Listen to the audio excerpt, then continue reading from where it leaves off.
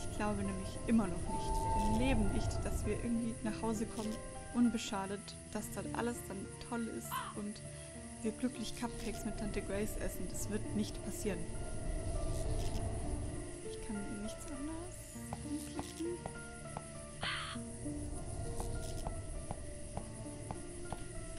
Darauf steht Hayes Street. Dann ist mein Haus in dieser Richtung. Warum ist der als siehst du Mond erst riesig? Sehe ihn. Unser Zuhause ist auch in der Richtung. Gut, dann... Oh. Oh, Fran, es tut mir jetzt schon so leid. Hier sind wir. Sieht viel grauer aus als in meiner Erinnerung.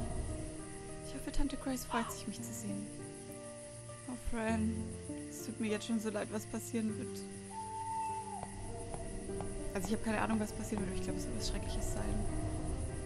Die Blumen sind ziemlich tot, die Armen. Ich hoffe, es regnet.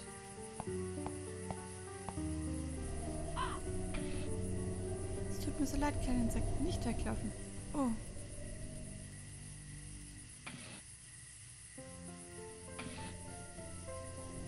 Ach, kein Schlüssel. Was ist das? Ein Zettel? Darauf steht, ich habe den Schlüssel gezeichnet, Fran. Fran?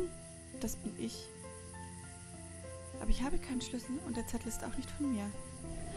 Ist alles so verwirrend. Was soll ich jetzt tun? Oh. Oh.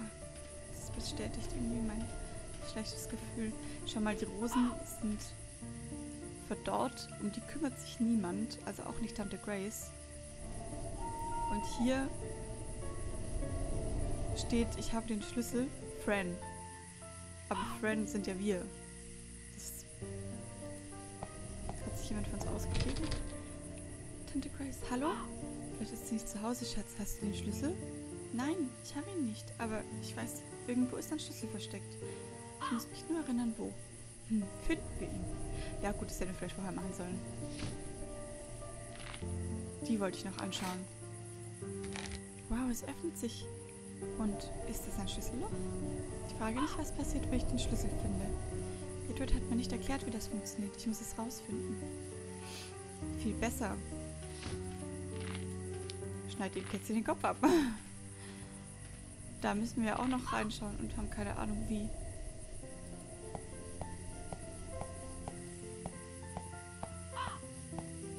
Oh, das ist das Fenster in meinem Zimmer. Die Vorhänge wehen wie eine Flagge. Dann ist mein Haus wie ein Schloss, wie Iterstas Schloss. Hat sich vielleicht irgendjemand für uns ausgegeben oder sind wir gar nicht Friend, sondern irgendjemand anders, die wie bei den anderen Zwillingen.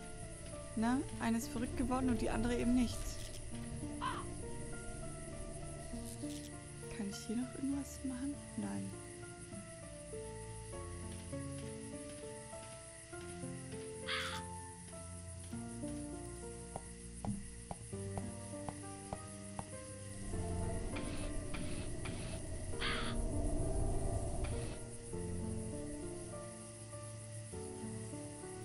Keinen Schlüssel und der Zettel ist auch nicht von mir. Ja, richtig.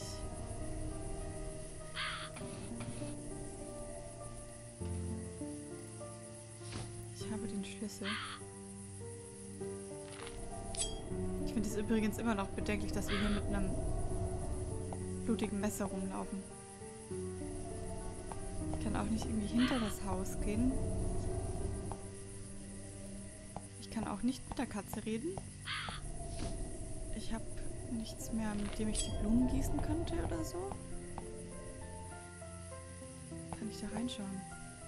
Da drin ist es sehr dunkel. Okay, was ist da? Hm, ich kann nicht reingucken. Ha. Okay, also reingucken können wir schon mal nicht. Ich bin gerade ein bisschen nervös, gebe ich zu. Weil mir graut es ein bisschen davor, was wir im Haus finden werden.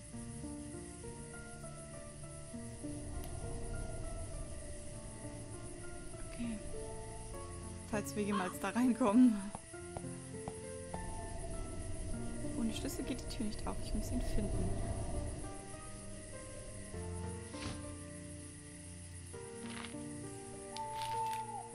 Hm.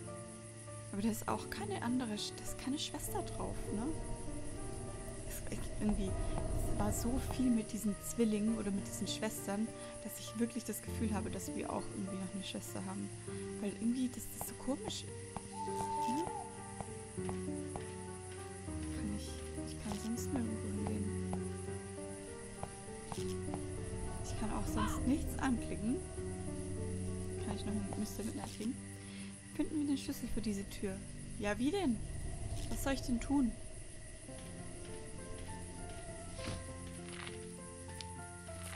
Ja, ne, ich dachte, wir können. Nee, egal. Total komische, wirre Gedanken, die da in meinem Kopf vorgehen.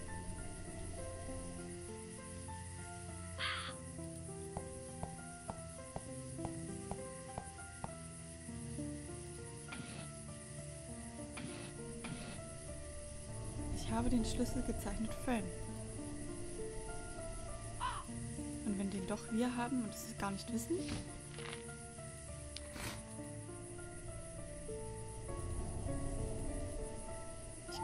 nichts machen. Kombinieren damit geht auch nicht. Benutzen. Palondras Kiste mit der Tür. Das kann ich nicht tun.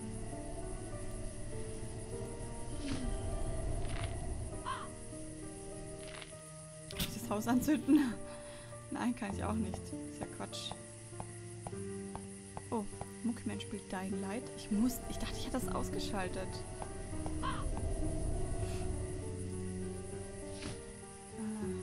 Ich weiß nicht, was ich tun soll. Kann ich damit das Fenster hochheben? Nein, kann ich auch nicht.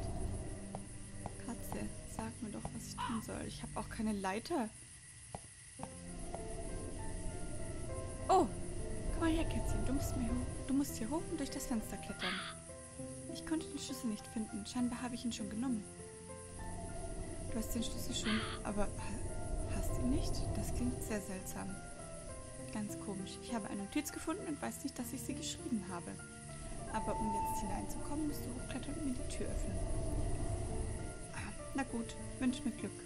Du schaffst das, Kätzchen. Sei vorsichtig. So was dachte ich mir dann schon. Eben wieder hochklettern müssen, aber ich dachte nicht, dass Mr. Midnight das macht.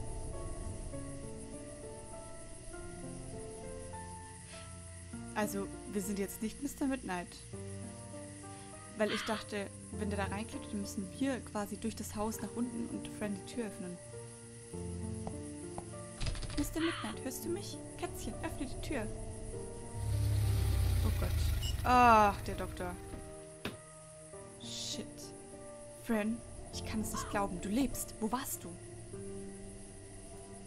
Dr. Dern? Mir geht es gut. Lassen Sie mich nicht zurück in die Anstalt. Bringen Sie, bitte bringen Sie mich nicht zurück in die Anstalt. Ich habe dich so lange gesucht. Wie konntest du entkommen? Das geht Sie nichts an. Bitte gehen Sie jetzt. Hm, aber warum bist du draußen? Ich habe den Schlüssel nicht, aber Mr. Midnight ist drin. Er ist hochgeklettert durch das Fenster im zweiten Stock geschlüpft. Mr. Midnight, ist das nicht deine vermisste Katze? Ja, aber wir haben uns am Ende gefunden. Darf ich fragen, warum Sie hier sind? Ich kam her, um Grace zu, treff zu treffen. Ich muss ihr etwas Wichtiges sagen. Ich glaube, sie ist nicht zu Hause. Nun, vielleicht ist es besser so. Du wirst mit mir kommen müssen. Nein, ich verlasse mein Kätzchen nicht noch einmal. Warten wir, bis er die Tür öffnet. Fran, ich glaube nicht, dass deine Katze drinnen ist. Das ist unmöglich. Ich sage Ihnen die Wahrheit. Er ist drin. Er macht gleich die Tür auf. Hör auf, Fran. Sieh es ein. Deine Katze ist tot. Du musst jetzt mit mir kommen. Uns ja Mr. Midnight auch nur eingebildet. Oh nein. Jetzt ist da drin ganz alleine.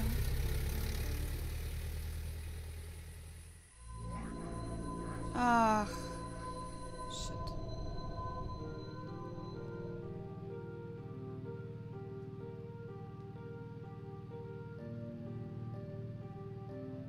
Ach je. Ich frage mich immer noch,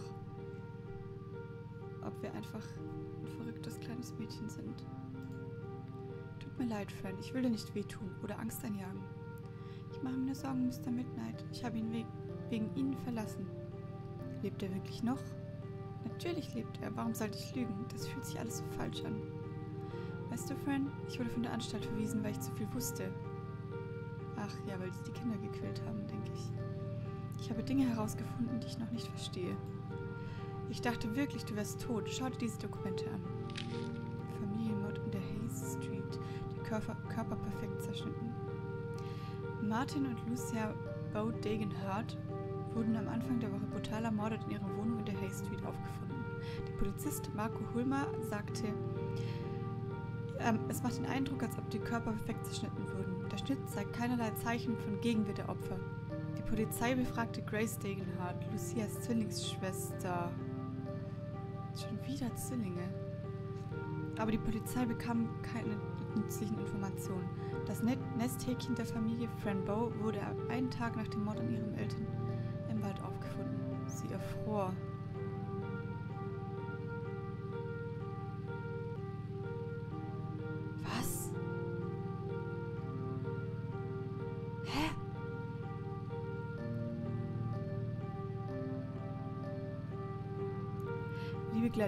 Erzähl der Zeitung von Fran Bow. Sie wurde im Wald gefunden, erfroren. Sie lief von zu Hause weg, als sie herausfand, dass ihre Eltern ermordet wurden. Geliebte Fran Bow, 17.12. Oh, die hat nur ein paar Tage nach mir Geburtstag. Zehn Jahre alt ist sie geworden. Angeblich. Fran hat nun keine Schmerzen mehr. Wir hoffen, du triffst deine Familie im Himmel wieder. Was?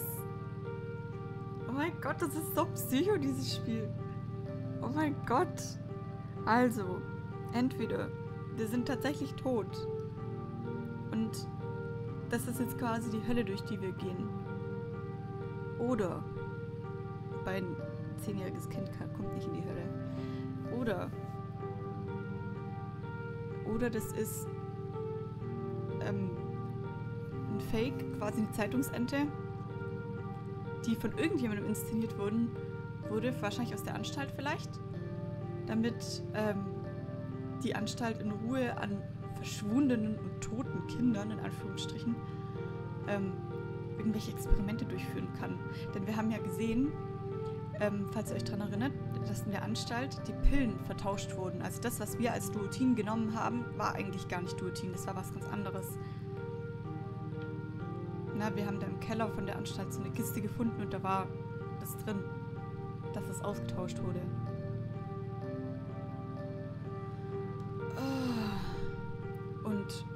Schon wieder Schwestern. Was haben die denn mit Schwestern?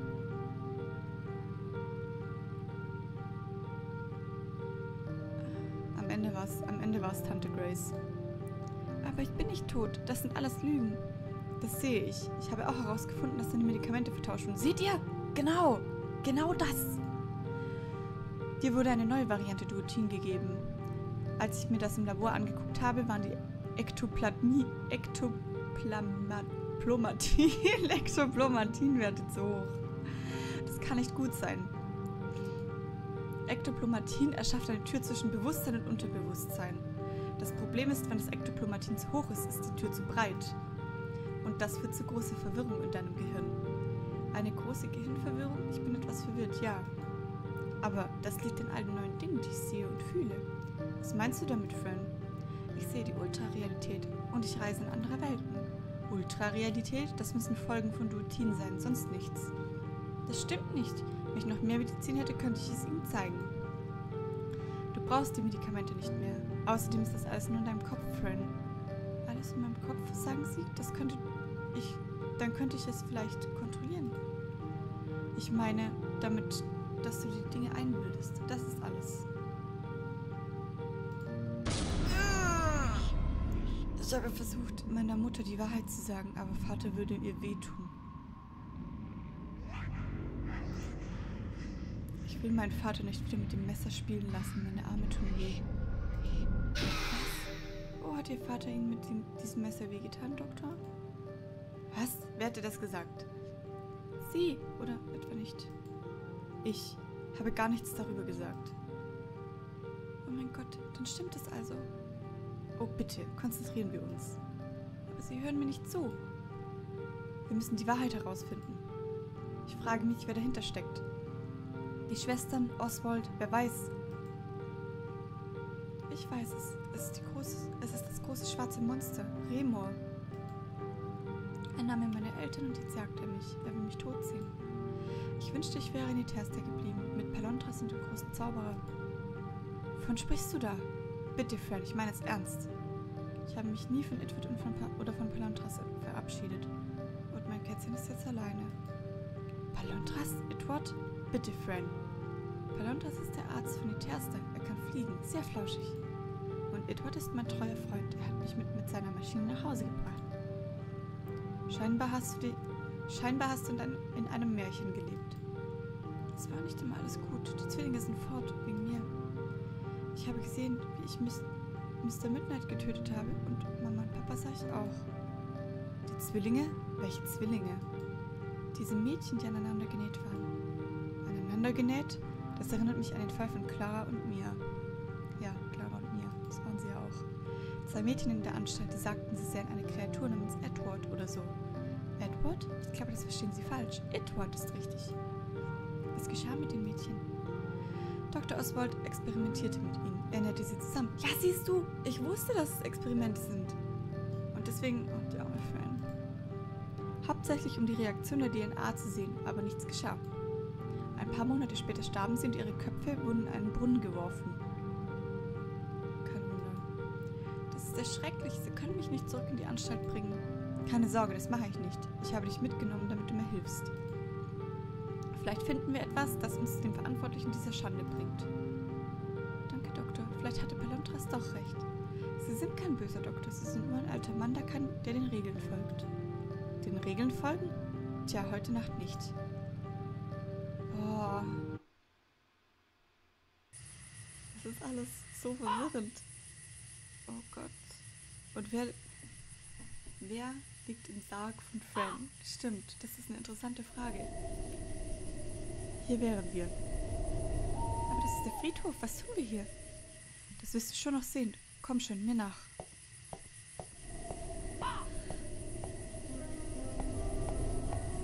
Wow, hallo Steinfrau. Bist du müde?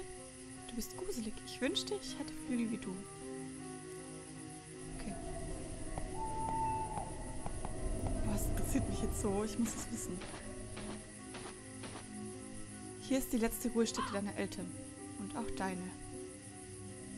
Aber, jetzt, mir ist gerade noch was eingefallen. Die Grace musste auch irgendwie mit drin stecken, weil in der Zeitung steht, dass Fran tot ist. Aber Grace war ja in der Anstalt, um nachzufragen, wie es ihr geht und sie will sie mit nach Hause nehmen. Die steckt da auch mit drin. Kannst du mir nicht erzählen. Warum haben sie mich hierher gebracht? Tut mir leid, Fran, aber die Dinge sind, wie sie sind. Deine Eltern wurden ermordet. Wenn wir wissen, wer sie getötet hat, kann es das helfen, die Dinge richtig zu stellen. Was meinen Sie mit richtig? Ich meine damit, dass wir, wenn wir die Schuldigen finden, Gerechtigkeit erleben werden.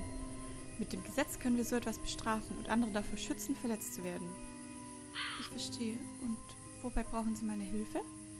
Um Hinweise und Beweise zu finden. Wir müssen die Särge öffnen. Okay. Okay.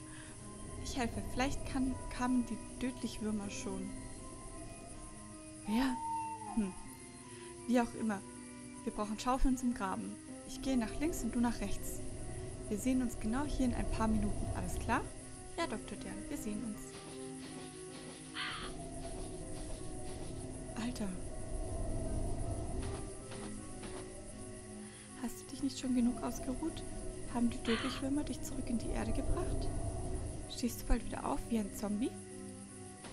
Hoffentlich nicht. Ich frage mich, was die Frau in ihren Händen versteckt. Ist das ein Käfer? Bestimmt versteckt sie Käfer. Martin Bow, Lucia Bow Degenhardt und Fan Bow Degenhardt. Ah. 44 war ja. Und die war 41. Nein, 39. Entschuldigung.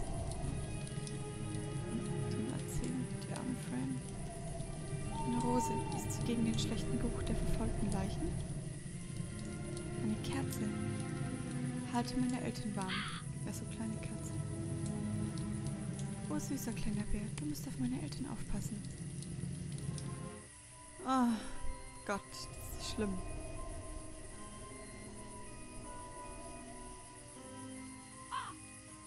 Steht da was Lustiges? Kein Name, keine Blumen. Vielleicht ist niemand dort unten. Aber niemand ist gerne tot. Das ist also gut. Okay.